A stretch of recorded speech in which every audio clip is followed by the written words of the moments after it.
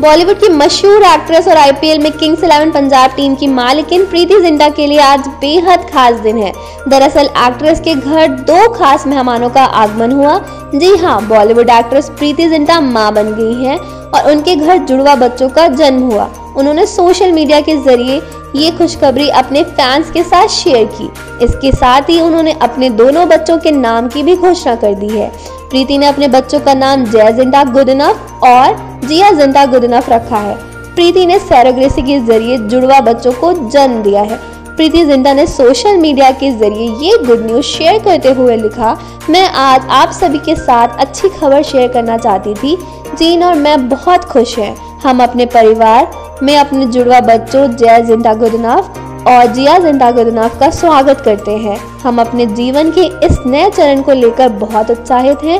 इस अविश्वसनीय यात्रा का हिस्सा बनने के लिए डॉक्टरों, नर्सों और हमारे सैरोग्रेड को दिल से धन्यवाद। ढेर सारा प्यार, जीन, प्रीति, जय और जिया। प्रीति जिंटा ने इक्यालीस साल की उम्र में खुद से 10 साल छोटे अमेरिकी फाइनेंशियल एनालिस्ट से शादी रचाई थी।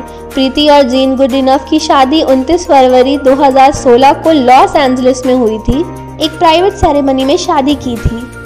प्रीति अपनी शादी में बेहद खूबसूरत लगी थी। उनकी शादी भारतीय अंदाज में हुई थी। उनके पति जीन पेशे से लॉस एंजलिस में फाइनेंशियल एनालिस्ट हैं।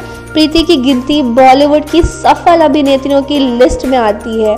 उन्होंने बॉलीवुड को कई ब्लॉकबस्टर फिल्म्स दी हैं। हालाँकि पिछले कुछ समय से प्रीति फ़िल्मों से थोड़ी दूर है, लेकिन आईपीएल के सीज़न में वह भारत में ही रहती हैं। मॉडलिंग और एड फिल्म्स करने के बाद प्रीति ने मणिरत्नम की दिल से बॉलीवुड में डेब्यू किया। इसके बाद उनका करियर निकल पड़ा। प्रीति फ़िलहाल अमेरिका में रहती हैं। हर खबर पर होगी आपकी पकड़। सब्सक्राइब करिए हमारे चैनल विद्रोही आनंद को और बेल आइकॉन दबाना न भूलिए।